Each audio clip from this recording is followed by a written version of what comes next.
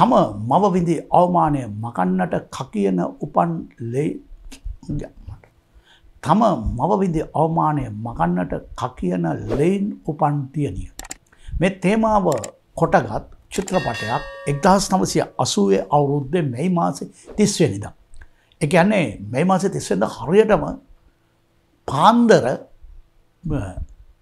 තුළහට එකැන විසිනමෙන්ද රෑ දොළහට සිනමා ශාලාවලින් ප්‍රේක්ෂකයන් වෙතට මුදාහැරුණ. ප්‍රේක්ෂක අති විශාල සංඛ්‍යාවක් මේ චිත්‍රපටය නරබන්නට ආව. විසිනමෙන්ද ගැන වෙසක් දවස යවුරුත්ති. වෙසක් දවසේ චිත්‍රපට පෙන්න්න නෑන පොය දවස රෑ හරියට දොළහට තමයි ෂෝ ෆිල්ම්ස් ටික ස්ටාර්ට් වනේ දොළහයි පහලවකට පටන් ගත්ත. සියලු සිනමා ශාලාවල ප්‍රේක්ෂකයන් පෙරල හිටිය. චිත්‍රපටය රක්තා.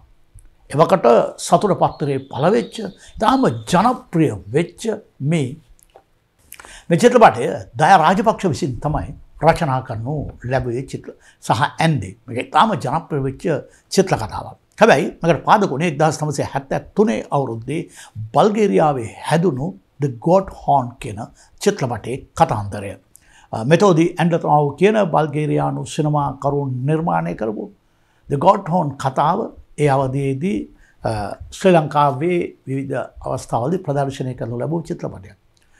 කොයට වෙතත් ඒ ආභාෂය අරගෙන දය රාජපක්ෂ මේ චිත්‍ර කතාව පුරු ලිව්ව. අදරත් මේ බල්ගේරයානු චිත්‍රපටය ඔබට YouTube හරහා නරබන්නට පුළුව. රක්තා බලන්නට නැති වුණාට. හැබැයි රක්තා ඊට වඩා ක්‍රියාතාම පිරේ චිත්‍රපටයක් හැටියටත් අනිවාර්යෙන්ම කිවයුතුව තිබෙනවා. දානු කියන්නේ තොටිය. ඔහු සේවය කරන්නේ පලාතේ ඉන්න රදල වන්සවත් වලවුකාරයන්. මේ වලවකාරයන්ට අයිතිවෙච්ච ගෝරසිං හාමුත් උමාරිත් කෝපිතත් දවසක් මේ ගඟෙන් එතොර වෙනකොට දාර දානු තමයි ඔරුව ගෙනයන්නේ හැබැයි මේ තිදෙනා දකිනවා දානුගේ භාර්යාව තාරාව ඇයි තම ලස්සන කාන්තාව. තනම් වලට ගියාට පස්සේ තමන්ගේ බඩු බාහිරාදිය වලව්වට ගෙනහින්දාන්න කියලා මේ දානුට පවරන ගෝරාසිං උරුව පදවා ගන්නට තාරට එන්ඩ කියනවා. ගඟ මැදදි ඇයට බලහත්කාරකං කරන්න ගෝරාසිං හාමු ට්‍රයි කරත් පොරවා අතර ගන්න ඇය ඔරුව පෙරලලා දානෝ.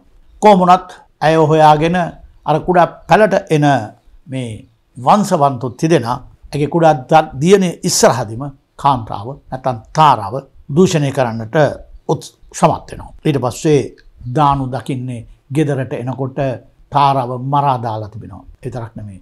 තාරගේ ළඟ වැතිරිලා කුඩා දැරිය කිරිබොනෝ.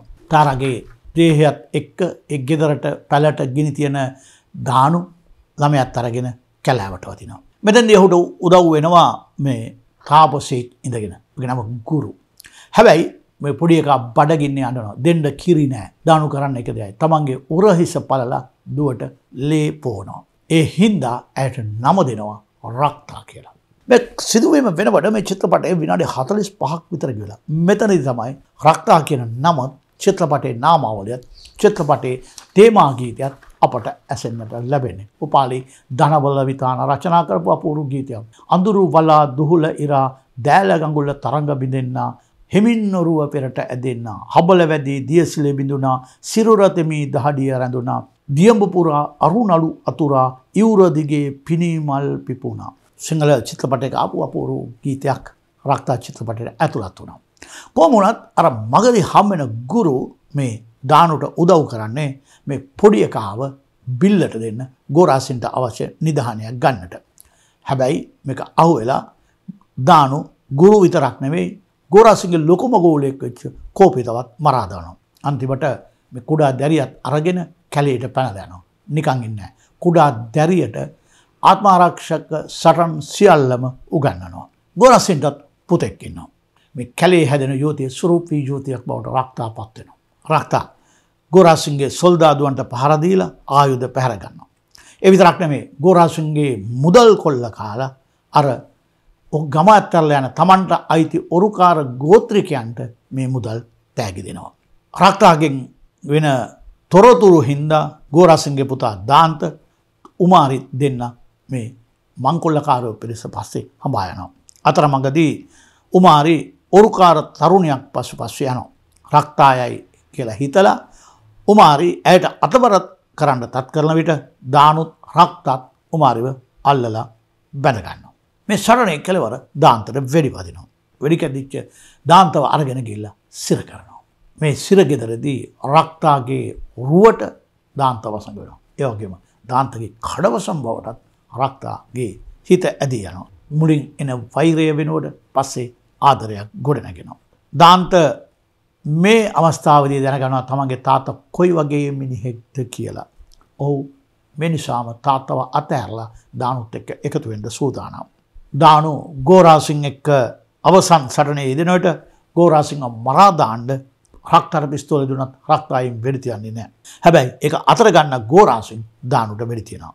රක්තාට වෙඩිත වන්නට උත්සාහ කරද්දී රක්තාව බේරාගන්නේ දාන්ත.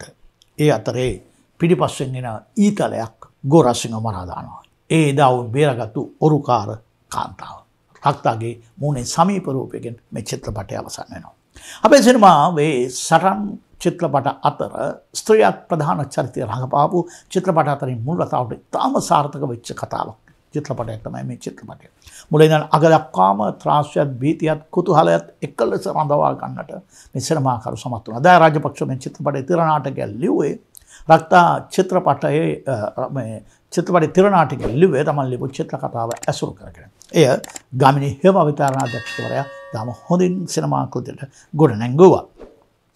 චිත්‍රපටේ රැක්ස් කොඩිප්පිලි ආම බල සම්පන්න ලෙස දානුගේ චරිත නිරූපණය කලා එවගේම රක්තා ලෙස මාලි ෆොන්සේක අපුරු චරිතයක් නිරූපණය කළා. පසු කලෙක මාලි ෆොන්සේක සසර චේතනාවැනි චිත්‍රපටයකට ක්‍රියාදාම ජවනිකා සහිත චිත්‍රපටිකන මුලපුරන්නේ මේ රක්තා චිත්‍රපටය නිසා ලැබිච්ච සාර්ථකතත් එක විය යුතුයි. කොමුණත් චිත්‍රපටේ හැම චරිත නල් හඟපාපු හැම නලු නිලෙක් රොවින් ෆ්‍රාන්දු සෝනය දිසා විමල් කුමාත කොස්තා ඇලෙක්සන්ඩර් ප්‍රාන්දු මේ හැම දෙනාම ජයශේකර අපොන්සුපා තාම අපුරුවෙන් මේ චිත්‍රපටය රංගනයට දායක වුණා. මේ චිත්‍රපටය අතිශය සාර්ථක වුණා යවුරුදු සරසවී සම්මානවලේදී පාඨක ඡන්ද 15000 60ක් ලබාගෙන හත්වන ස්ථානයට පත් වුණා හැබැයි සම්මානයක් දිනාගත්තේ නැහැ. මේ චිත්‍රපටයේ මුල් තිර නාටකය මුලින්ම චිත්‍රපට සංස්ථාව අනුමත කළේ නැහැ. තහනම් කළා. මොකද ඒ අවදීදී චිත්‍රපටයක් නිපදවන්නට කලින් තිර නාටකය චිත්‍රපට සංස්ථාවට දීලා එක අනුමත ලබාගත යුතුයි. හැබැයි රක්තා චිත්‍රපටයේ තිරනාටකට අනුමැතිය ලැබුණේ නෑ. සමහර විට ගොටෝන් චිත්‍රපටයේ කතා තේමාව නිසා විය හැකි. එසේ නැත්නම් නොවනත් කාරණාවක් නිසා වෙති කොහොමවත් චිත්‍රපටයට අනුමැතිය ලැබුණේ නැහැ. ඔවුන් චිත්‍රපටය නැවත ඒවට අභ්‍යාචනයකින් පස්සේ චිත්‍රපටය හදන්නට ඉඩ ලැබුණා. මේ චිත්‍රපටයේ රෙක්ස් කොඩිපුලි මුල් වතාවට හිස මුඩුගාගෙන තමයි රඟපෑවේ. ඒ නිසාම තමයි ඔහු උතුමානන චිත්‍රපටේ රඟපාදි කුඩා ජවනිකාවක නීතිච්චවරෙක් ඇයට හිස මුරුගාගෙන චිත්‍රපටය පෙනින් සිටි රඟපෑවේ. චිත්‍රපටයේ අනුමැති ලැබුණට පස්සේ අර තිරනාටකට අනුමට ලැබුවත් චිත්‍රපටය ප්‍රසිද්ධ රඟපාලක මණ්ඩලයට දුන්නට පස්සේ ඔවුන් ගව මේ චිත්‍රපටය මුලින්ම වැඩිහිටියන්ට පමණක් සීමා කළ යුතුයි. පස්සේ තමයි දුන්නේ වඩාත් සුදුසු වැඩිහිටියන්ට පමණයි කියලා. ආය චිත්‍රපටය තිරගත කරදි තව ආරබුලක් ඇත උනාර වර්ණ චිත්‍රපට සහ කළු සුදු චිත්‍රපට බෙදා හැරීම සම්බන්ධයෙන් මේ අවදී ආරබුලක් ඇත දුණා. මම මීට කලිනුත් කියා තිබුණා වර්ණ චිත්‍රපටයක් තිරගත කර වන්න කළු සුදු චිත්‍රපට හදලා තියෙද්දි වර්ණ චිත්‍රපට අලුතෙන් හදලා ඒවා පොලිමෙන් පිට පන්නන්න සංස්ථාව ඉඩදීම සම්බන්ධයෙන් නඩු නිසා මේ අරගලය නැවත පැනුණා. එදා අවසානයේ වත්සයාවෙන් සංස්ථාවත් එක්ක එකඳු වෙලා මේ මාසේ විසි නමද කැනේ වෙසක් දවසේ රාත්‍රී දොළහට මේ චිත්‍රපටයත් සසරක පැතුම් චිත්‍රපටය දෙකම එකවර තිරගත කරන්නට සංස්ථාව කටයුතු කලා වර්ණ චිත්‍රපටයක් වච්ච සංකපාලය හදපු සරත් රූපසිංහ ඒ ක්‍රමවේදයට විරුද්ධව නඩු පවරු නිසා සියල්ල එකතු කල්ලා එකගතාවකට පත් කළ තමයි මේ චිත්‍රපටය පෙන්වේ. ඒවගේම චිත්‍රපටය ප්‍රදර්ශනය කිරීමේදී එවකට පැවති විදුලි බල කප්පාදුව සිනමාකෘතියට යම් ප්‍රමාණයකට බල පැව. හැබැයි චිත්‍රපටය අතිස්සේ සාර්ථක වුණා. චිත්‍රපටය නිෂ්පාදනය කළේ නිවටන් හෙවා විතාරණ විසින් අධ්‍යක්ෂණය කළේ ගාමිණී හෙවා විතාරණ. චිත්‍රපටේ කතාව දෙබස් සහ තිර රචනය දයා රාජපක්ෂකින් කැමරාධ්‍යක්ෂණය ඩැනී ඩ පතරනකින්. සංස්කරණය ලාල් දිසානායකගෙන් සංගීත අධ්‍යක්ෂණය සරත් බාලසූරකින්. චිත්‍රපටේ ආයකම ගීතය උපාලි දනවල විතාන රචනා කලා අරුණව වලා දුහුල් ඉරා දෑල්ලගංගුල තරංග බිඳෙන්නා කෙන ගීතය WD අමරදේවයන් ගායනා කරනු ලැබවා. චිත්‍රපටයේ සහය නිෂ්පාදනය සිරිසේන දන්තනාරායනගෙන් සහය අධ්‍යක්ෂණය අයන් හෙවවසම් සාකීර්තසි කුමාරසිංහගෙන් සහය කැමරා එම්ස් ජස්මින් බන්දුල කුරේචී නන්දසයනගෙන් අතිරේක කැමරා MG චන්ද්‍රලාල් මනමේන්ද්‍රගෙන්. නිෂ්පාදන සහයදායක වුණා ලක්ෂ්මන් සෙනවිරත්න සහ පීට අල්කන්ගෙන් නිෂ්පාදන සැලසුම කුමාරසරි වීරක් කොඩිගෙන් නිෂ්පාදන කළමනාකරු රත්න වීරද සිල්වා කලාධ්‍යක්ෂණය ලයිනල් සිල්වා කලා සහය හේම චන්ද්‍ර පෙරේරා වේශනරූපණය රංජිත් මතඟවීර වේශනරූපණ උපදෙස් දුන්නේ ඊබට විජේසිංහ. සටන් මෙහෙ වූයේ රොබින් ප්‍රනාාන්දු ඇඳුම් නිර්මාණය පිළියඳල PD ටෙක්ස්ටයිල්ස් වෙතින්. නාමවලිය ඒඩ රංජිත් කුමාරගෙන් වෙඩි සැපවීම MG කරුණාපාල ඊට උපදෙස් දුන්නා ජොනිඩී හෝට්. ආලෝක සහය නොබට රත්නසිරි පත්මසිර පිරිස් කරුණාදාස පදරත්න ඇම් ඇරෆින්. කොන්ඩ මෝස්තර සෑම් පෙරේරා ශබ්ද පරිපාලනය ජෝජ් මනතුන්ග දෙබස් පටිගත කිරීම ED ජෝන් රසායනාගාර කටයුතු එස් තිරණාව කරසු විජයා චිත්‍රාගාරයේදී. අවිආයුධ සැපයුම ත්‍රීකොණාමලේ දස්කම් ඉන්ඩස්ට්‍රේස් වෙතින්. චිත්‍රපටය රක්තා ලෙස රඟපෑවෙන් මාලනී ෆොන්සේක රෙක්ස් කොඩි පිළි දානු ලෙස රඟපෑවා රොබෙන් ප්‍රනාාදු දාන්තා ලෙස දාන්තු ලෙස රඟපෑවා සෝනය අදිසා තාරා ලෙසත් මෝබින් ජෑතුන්ග තාම බල සම්පන චරිත නිරූපණය කළ ගෝරාසිං ලෙසත් ඇලක්සඩ ප්‍රනාාදු කෝපිත ලෙසත් විමල් කුමාරත කොස්තා උමාරි ලෙසත් ජයසකරපොන්සු බේබදු සොල්දාදය ලෙසක ඩියර් නානෑකාර ගුරු ලෙසත් මානෙල් වානගුරු ගෝත්‍රික කාන්තාවක් ලෙසත් රඟපෑවා ජෝජ් වීරසිංහ රල් විජේසේකර විල්සන් කරුණාරත්න බෙල්ටන් ප්‍රාන්දු ප්‍රියංකර සිරිසෝම ආර්යරත්න තොඩබඳු පියසේන ජයවන් රවීන්ද්‍ර නලින් ප්‍රදීප් ලියනාරච්චි ධර්මශ්‍රී මුණසිංහ කීර්ත හෙවවසම් රනිල් රාජපක්ෂ සමග ළමා නිලී විද්‍යා හෙමමාලීද සේරම් මෙ චිත්‍රපටය රඟපෑව. විද්‍යා රඟපෑවේ ඇය නදික ගුණශකරගේ සහෝදරිය රඟපෑවේ මාලනී ෆොන්සේකාගේ රක්තාගේ ළමා අවදිය. මේ චිත්‍රපටය රූපගත කළේ ත්‍රිකෝණාමාලය ආවට ත්‍රිකෝණාමාලයේ ආන්දකුළම් කියන ප්‍රදේශවල කළු සුදු චිත්‍රපටය චිත්‍රපටය අර වෙසක් දවස රාත්‍රී මරදානයේ Elphinstone Rajagiri Impala Dehiwala Trio Maharagama National Wattala Gemunu Mahanuwara Wales ඇතුළු සිනමා හල්වල තිරගත වුණා. දින හැට දෙකක් ආරම්භක සිනමා ශාලා හයක තිරගත වුණා දින හැත්තෑ පහක්ම ප්‍රධානයේ Elphinstone Rajagiri Impala Maharagama National සහ මහනුවර වෙල් සිනමා හල්වල තිරගත වුණා. එල්ෆින්ස්ටන් නැශනල් වල්ඩ් සිනමා හල්වල දවස් අසූ දෙකක් තිරගත වුණා. මේ චිත්‍රපටය තිරගත කරන වුණු සමයේ ඉතාම අපූරු දැන්වීමක් පත් පලවුණ දිනබින පුවත් පතේ. සිංහල සිනමාවේ තිස්තුන් වසරක් තුළ එල්ෆින්ස්ටන් සිනමාහලේ දින තුනක් ඇතුළත වැඩිම ආදායම් වාර්තාව. ඊළඟට තින වඩා වැදගත් කාරාවක්. දයාබර ප්‍රේක්ෂකයනේ සිනමා හල්වලට අලාභහානි නොකරන්න.